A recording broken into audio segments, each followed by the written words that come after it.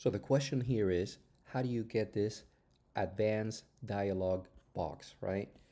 Uh, so real simple. Well, not simple, but this is how you do it. Let's say I'm gonna make a quick reply um, to that video. I'm gonna put like here, quick uh, quote message and reply. Now this dialog dialog box, it, it doesn't have a lot of options here, okay?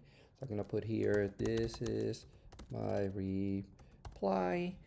Now the here go under go advanced. See now, see how the this dialog box is very, very small. Now you go into go advanced. And now the dialog box has a lot of other options here, okay?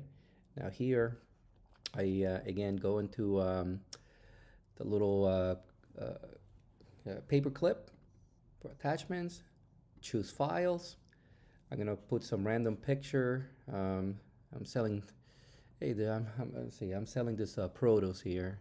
Maybe I'll do some uh, advertisement. Uh, upload.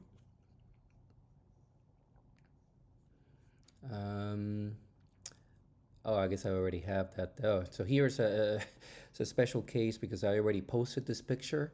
I actually have to go into the um, uh, the actual post itself I'm actually gonna, uh, ooh, I, lo I love this picture. So let's do uh, right click, uh, copy image address, uh, get rid of this, go back to the original uh, post, uh, return, return, get to the 640.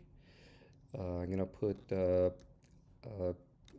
is command V, which is for paste paste it. Now I'm gonna go into a preview post and see how, how the picture here doesn't look like a like a big picture. It's just the correct size.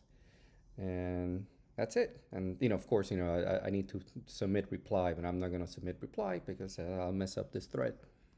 Thank you for watching.